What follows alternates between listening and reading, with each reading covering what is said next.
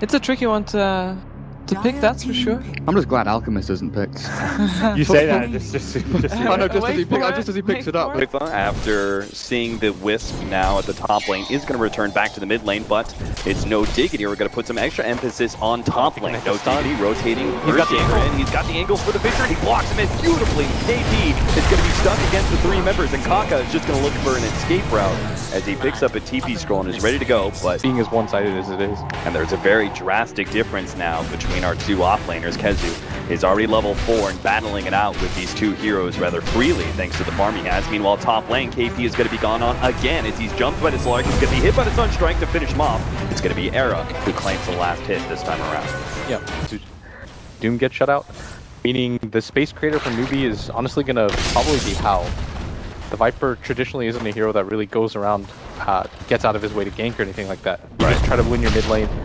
Oh, another beautiful block there from Yapzor. It looks like Chuan is going to be in some serious trouble. Has an impale up in a second. He's just trying to stay ahead of KheZu at this point in time. Has to blow some of his mana. Two more mana, and he'll be able to have an impale that might be able to save him against KheZu. Now Kaka's going to appear, and Chuan will be fine. It's going to be KheZu goes down instead. Great response there from Newbee. Kaka at the right place, the right to uh, have a large impact as we start going around Kill the bottom. 15 minute mark.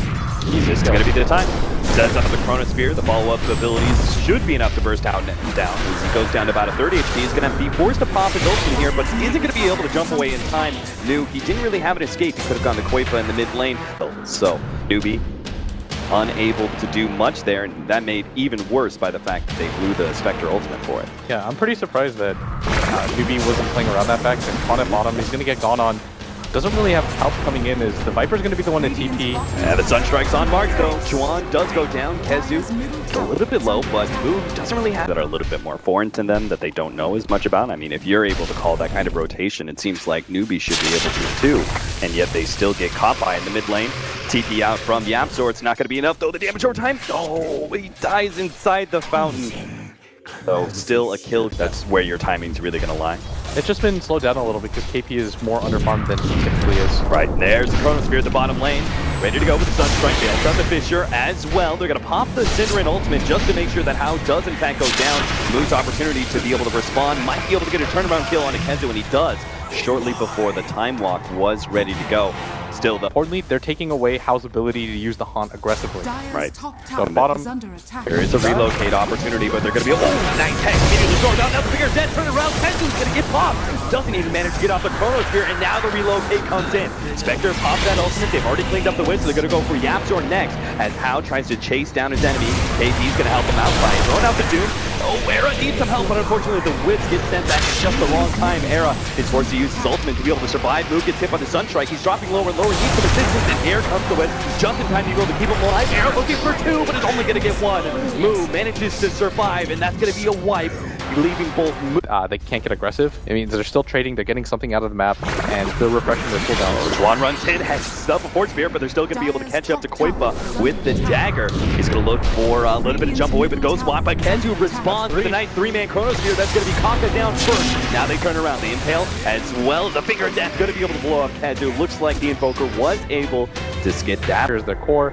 They've got the counter initiation of the IO, and most importantly, the mech Viper. There's no easy target. An opportunity just like this presents itself with the Shadow Blade. They're able to run into Arrow with the relocate ready to go. The attempt, not even attempt, and it's a nice Synderen's also going to be picked off as Chuan comes in with the uh, Earth Spike. He was going to lead with the Yule Scepter. Actually, that's probably what happened. Yeah. attack.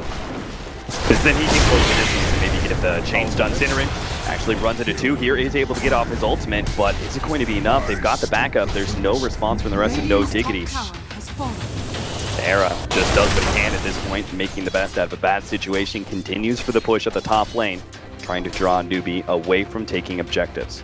Yeah. Now Newbee's just frustrating them around the them. He's going to be strong, regardless of what phase of the game you're in or what kind of lead you have. So it's not like Newbee necessarily want to go for the five man, but Round two of going on the how. He does have the haunt up yet again. KheZu waiting and is now going to jump the Chronosphere just in time to stop that TP. Spectre thinking that perhaps he could keep that uh, that haunt alive by just TPing out. Newbee are going to respond in kind though. They're going to get a pick off on KheZu. It looks like it. They've got the Doom ready to go. And KheZu's not getting away. Certainly not with that purge.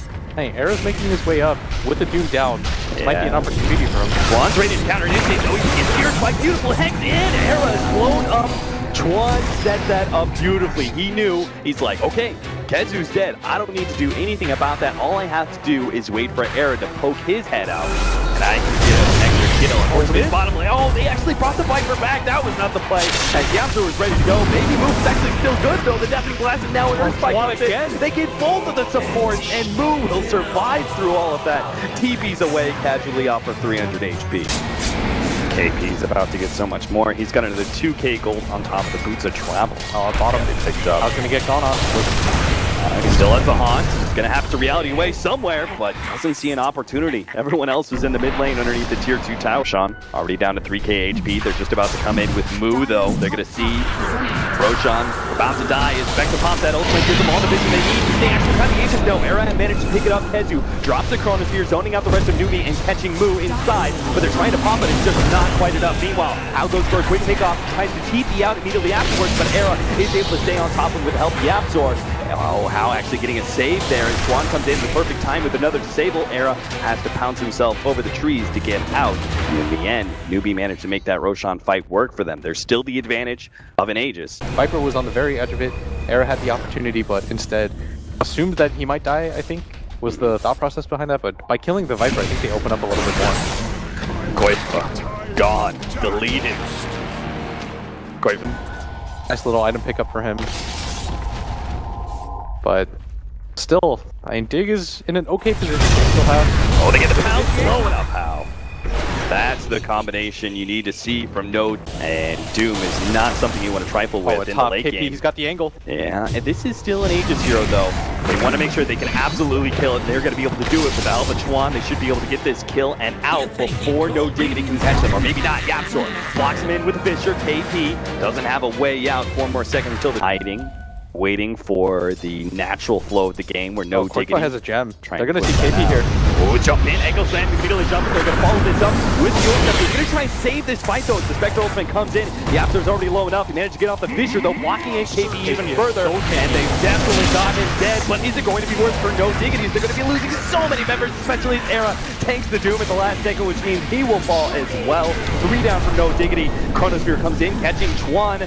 They will get a second kill on this, but Newbee are still gonna be very happy with this trade-off as is. Yeah, especially against Diggity's lineup.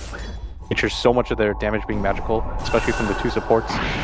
Kaka, no amount of magic armor is going to save you from that, though. Qojqva still outputs a lot of physical damage thanks to the uh, Alacrity and Forge Spirits.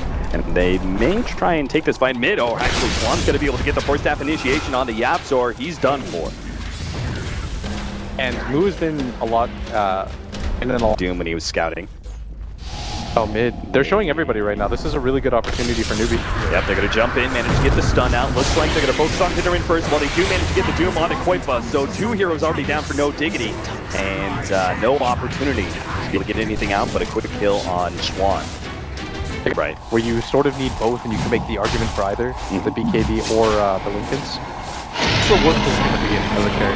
Yeah. It usually means there's no one item that's really going to save the. Dude to get some chip damage there. But now the hard part begins. They actually have to uh, formulate some sort of defense. They're going to be giving up their tier 3 first. Looks like they're going to be waiting on the Aegis. Didn't have a fight around the Aegis and took a tower in exchange. That's not too bad. Oh, bottom. They Yeah, need this. yeah, this this is high ground. That is so bad. KheZu's obviously very, very dead, and Newbee can immediately start going high ground as soon as they can control the mid lane. Yeah, that's the hero that they're worried to run out, but I think they might have the angle for this. Yeah, they've still got him. KP. He's going to be ready to just blink straight up Doom KheZu right before the time lock can go off. And again, the big high ground defender of No Diggity ends up falling. And immediately, look what No Diggity are doing in this abandoned ship. Trying to stay ahead, has his pounce ready to go, but not going to be in time, it looks like. Pops Manta trying to dodge some of that Infernal Blade damage, but now the Haunt is going to continue to chase him down. Doesn't look like they have counter vision available as Chuan is uh, a bit too far away. So they some abilities. They didn't have to use the BKB on the Slark. Uh, he's able to survive. Okay, never mind. Oh, down quick.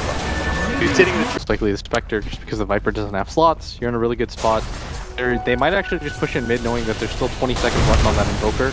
As Mu at mid, you just Going gonna to buy back an arrow. Oh no, he's going to be blown up by the finger of death. There's no response from No Diggity as Yapzor couldn't get a blink Echo Slam to uh, to stop that initiation from Newbee. And now looks like they're going to have to give up a melee Rax or full buyout here in the next few seconds.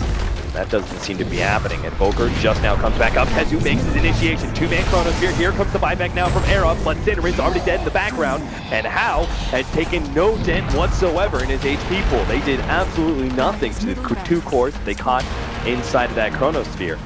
And now we're really seeing just the danger. so much on them.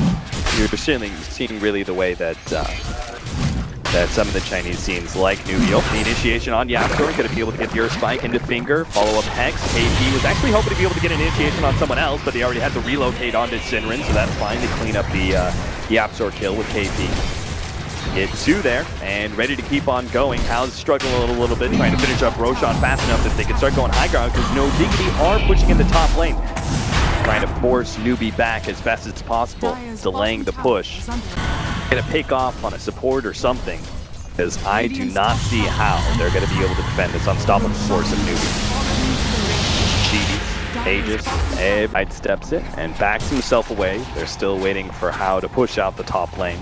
He's got the Haunt ready to go, so Newbee can actually fight right away. Yeah, they're just gonna go for it behind him.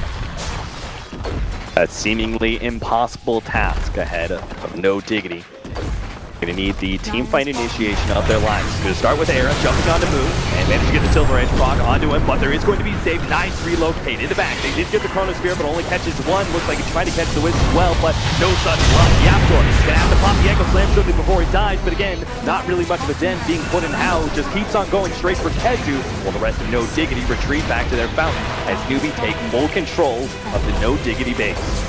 There's almost no, nothing that Diggity can do now without their two uh, big team fights. They're just going to call it at that point, but Newbee had complete control of the game for the last 20-25 minutes or so.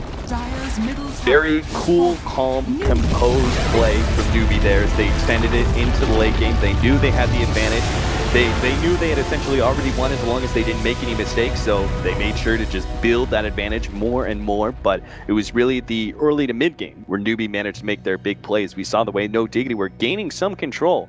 Newbee finally got the read of the game and managed to respond appropriately. Yeah, if you're going to center anything, it's going to be that fight at bottom where Mm-hmm. times of charm is Newbee turns that around. They were able to force Dig to fight under them into a Viper, but